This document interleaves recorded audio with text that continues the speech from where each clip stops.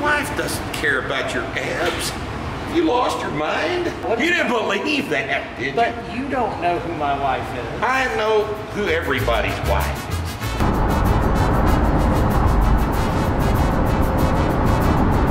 This video is sponsored by Sportsman's Guide. Shop Sportsman's Guide and use code WARPOET and you can start saving money on ammunition, blasters, hunting accessories, all kinds of good stuff. Military surplus. Check it out, sportsmansguide.com. Use code WARPOET.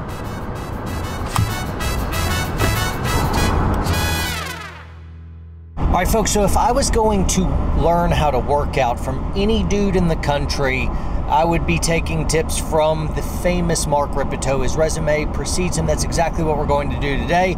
We are on our way, heading down through Texas. I've got Mike, old Ranger buddy, right here, and also Preston is in the back. Anyway, we're going to go see the illustrious Mark Rippetoe. He's going to teach me how to work out. I, for one, understand and appreciate the value of good training. I want to be, I want to understand the technique, and most, and first and foremost, I don't want to get injured. So, anyway, we're going to go learn from the Master Yoda himself of all things strength and powerlifting. So, uh, you guys will see me utterly embarrass myself. However, hopefully you uh, will learn some stuff as I'm really just in the mode of I'm, I'm going to learn. So here we go.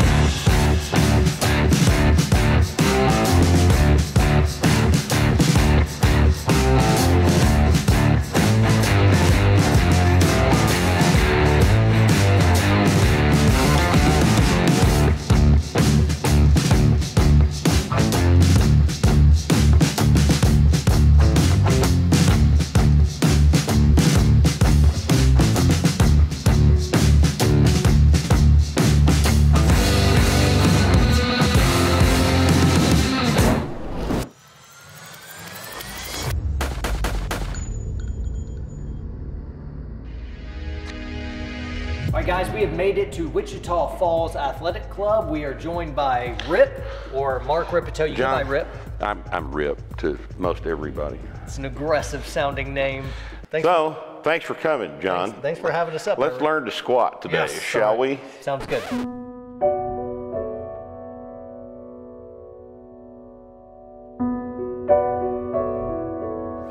All right, we're going to dispense with the belt for just a minute. We're going to put that back on later because I understand your back situation. But the first thing we've got to learn about the squat is the squat. Uh, you have been taught by everybody in the in the media, the muscle magazines, all of the exercise media wants to wants to make squat doing legs, and we're not going to do a body part today. We don't deal with body parts, we deal with movement patterns. We make normal human movement patterns strong, five pounds at a time. And that's how this works every single time it is done. Uh, it's an incremental accumulation of an adaptation to an increased amount of stress. And it works for every human being who is not dying of terminal cancer. And hell, it even works for them now that I think about it. So uh, if we take healthy people and we just get them strong and then we allow that we stress them and we increase the stress a little bit, an incremental increase in the stress. And then we feed them correctly and we allow them to recover from that stress. Then they adapt to that stress and now they went from here to here. So now we're here, and now we're going to go to here. And before you know it, you're strong. You're not stronger for a movement pattern. You're stronger overall. Got it. And then you take that strength and apply it to wherever you are going to be in the field. Because it's terribly important to understand why we worry more about being strong than we worry about endurance. Because if we get a guy that can squat 405, what are the chances that he loses his ability to run two miles? Yeah. Right. None. But if all he can do is run two miles, how is he as useful to us as if he could also squat 405? Roger. Okay. That's my whole point. Cool. If you don't train for strength, you won't be strong. Understood. But if you do train for strength, you can still run. okay? So I just started doing kind of, kind of some of the starting strength, but without a coach. I'm worried I've been doing stuff wrong. I have seen significant gains in my squat and deadlift, and partially muscle recruitment. I'd never Sure. done it before, but probably put 100 pounds on both of those uh, in, in a pretty short amount of time. Right. But uh, anyway, I'm still scared that something's about to go out. Well, what I want to show you today is the way to squat with your hips so that it throws all the load onto your hips. But it also is going to be a squat that uses a more horizontal back position. So you've just got to get the idea in your head that the squat is about hips, not about legs. All right, I want you to take a stance facing me on the platform. All right, I want you to point your toes, I want you to look down at your feet. This is about the right stance width, but your, you see your toes are at two different angles. Right. Point them out at about 30 degrees. It's going to look like it's going to look like that. All right. More than that. More than you want them to be. Uh, all right. Pull your left heel back a little bit. There. That looks pretty good. Now I want you to just squat down. Squat all the way down. All right, I want you to take your elbows, watch me, and put your elbows inside your knees and shove them out a little bit, in contact with your knees. There. And push them out a little bit. You have got a picture in your mind of this, Correct. and I want you to get that picture out of your mind. I want you to get this position, I want you to get familiar with this. Now, I want you to push up on my hand and come up out of the bottom. Good. Do that again. You're driving up with your hips, right? Don't lift this. Okay. Push this up. But that's the idea. Lead with the hips. See how much harder you can push when you do it like that? Interesting. yeah. Again, Okay. drive my fist up in the air. That's how you squat. Man. And immediately you know that's stronger. don't Yeah, you? that's yeah, that's great. All right, so when we put the bar on your back, this remains the squat. Hips recruit more muscle mass. Cool. And train more muscle mass and allow you to lift heavier weights and thus get stronger. Come to the bar or show me your normal grip you've been using. Uh, for doing a squat. yeah. Uh, Let's use thumbs on top. Can you get under that, that close? yeah, right. Come back out of the, come back out. I want you to go a little tiny bit wider than that. You're pretty, pretty flexible in the shoulders. All right, go under the bar. Now the bar, you've got it in exactly the right place. It sits on the posterior delts, and all of this is tight, okay? Just like that. Put your wrist in a little bit more straight position. This is flexion, a little more wrist flexion, and this tightens the bar up. Tighten your back up against the bar, right there. It's not supposed to be comfortable, it's supposed to Good, be it's tight. not. Good. Stand up, Not comfortable. step back. Now go to exactly the same stance you had before, with your toes a little wider than you wanted them. You're going to squat down and come back up. Ready? Take a big breath, hold it, and squat. And remember, lead up with hips. Okay. Again. Tiny bit deeper, John, just a little tiny bit. Good. Three, two more. This is first, Okay. like that. Excellent. Racket. Walk it in. This is going to get easier with a little weight on it, all right? Okay.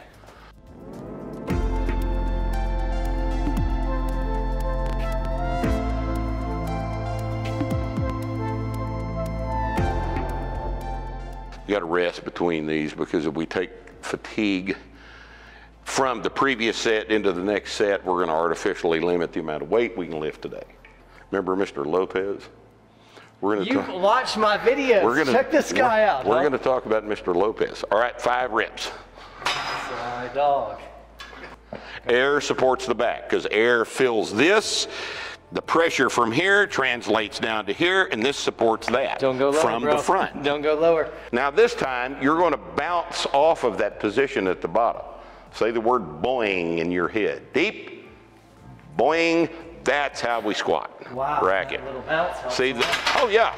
Oh, God, yes. It's a normal human movement. How's this work with like 95 year old Works the same way. Same way? It's good. way. So Same way they if- make if you- noise If too. all of a sudden this didn't work out and you found yourself running a nursing home, you could start them on starting. I would have, if I found myself running a nursing home one day, in about six months, half of the patients would be gone. Wow. They'd be back home. Okay, I thought you meant dead. No, better. they'd be back home. But you because- got my joke. Smile at uh, my joke. My joke was a good one. It's, it's real funny. That's a good joke. He's laughing. The It- cameraman's it's, laughing. It's, it's extremely funny. But here's, look, aside from the fact that You just you are obviously a comedian, aside from that fact, people are in nursing homes because they are not strong enough to take care of themselves anymore. Right? Now think about your grandmother. Think about people you know in nursing homes. What's really wrong with them? Yeah, they may have some disease, but the net effect of that disease is that they've been sedentary. And when you're sedentary, you're not strong. You don't have cancer and can't get up out of the couch. You have cancer, get weak, and can't get up out of the couch. Strength is the problem with people in nursing homes. If you don't want to be in a nursing home, stay strong. Now, one more thing I want to show you. You are a back patient. Yes. All right. So what I'm going to teach you is probably the most important thing I'm going to show you today. How do you flex the thing? What, Well, what, what is I do, what I do is I am going to concentrically shorten those two muscles, and I'm going to show you how to do it. All right. This, and then when I've got that set, then I set my abs. So I set the position with my lower back muscles, and then I reinforce that position here. But you Gotcha. are only thinking about this. Yes. This lumbar contraction must precede the abdominal contraction. This reinforces this. All right, so there's a couple of different ways we can think of to do this, okay? Just relax. There, what you just did, you picked up your sacrum relative to the top of your lumbar spine. Easy. It, it, it did this.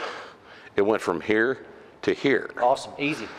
Just do that. If it was easy, you'd already been doing. well, doing I didn't know what to do. I know, I know you didn't know what to do, and this is an incredibly common thing.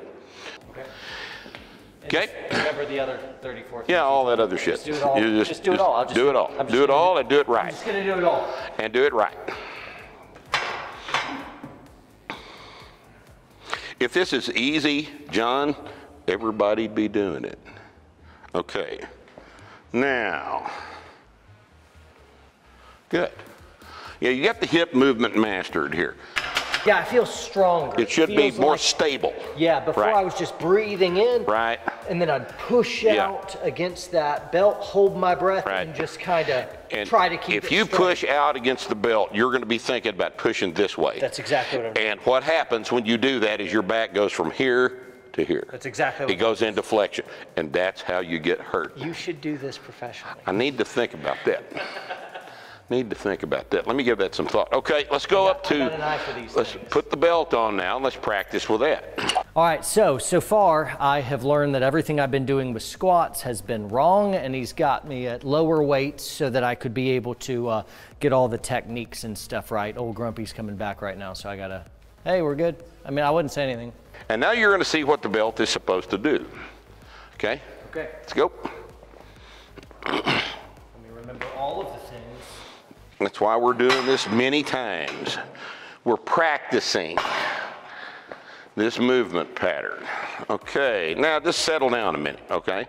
Stand up, take a big breath, squeeze the low back, now the abs, go. And you're gonna ignore the belt, all right? Ignore, don't even, it's not even there. You just do the same thing you did before. Exactly right, two. Good, John. This is excellent depth. Everything's moving just like it should. Knees and hips are doing exactly the right thing. Remember, drive the hips. Just like that. Right. Right. You start getting used to the idea that here's your low back. Here's the low back, not there. Back's never here. It's always here. And pretty soon the thing gets strong enough to support you in the weirdest position you'll ever be in. You're much more useful if your low back is strong. And here's another interesting, if that takes another 20 pounds of body weight, then gain it. Hmm. Gain it. You know, the big, strong guy is more useful to the unit than the little skinny guy. Yeah, and I'm out. Isn't he? Just so you know, I'm out. I'm I know you're out. I know you're out, but you're not out. good call. Seemed All right. very Miyagi-ish too, Right. which was fitting. That's me. 63 years of telling people things. This is practice, not training. Okay? Toe angle. Rotate your heels in a little bit more than that. Excellent. Good. Set. Set the low back. No, the other way. I got it. Right? Right there. Go. Reset. Good, good. That's the movement. That's the movement. Okay? Again, this arches. Good. Three.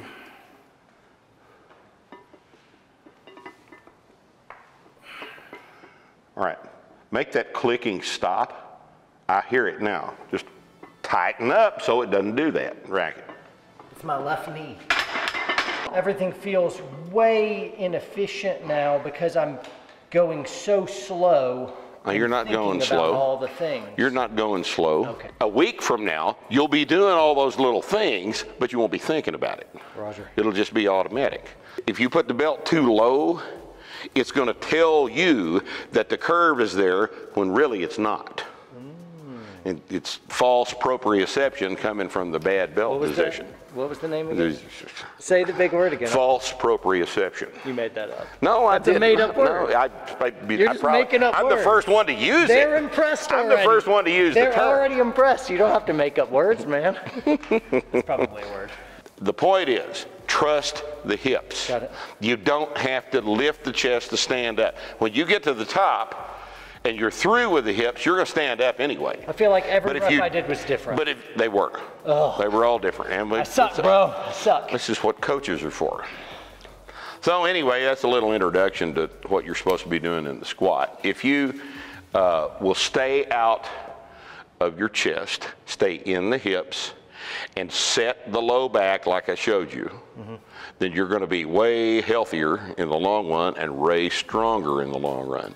Make sure you check out Mark's book, Starting Strength Incredible. Uh, find a place that is a Starting Strength affiliate, or wh- We have that work? affiliate gyms. We have uh, uh, Starting Strength franchise gyms going up all over the country. So look for those in your area. Come to our seminar. All this information is available to you at startingstrength.com. We'll have links down below in the description if you guys want to get tuned up. I've been on this journey for a little while, got way farther to go because I've been screwing up a bunch of stuff. But uh, thanks for tuning in and watching me fail forward with this, and uh, we'll see you next time.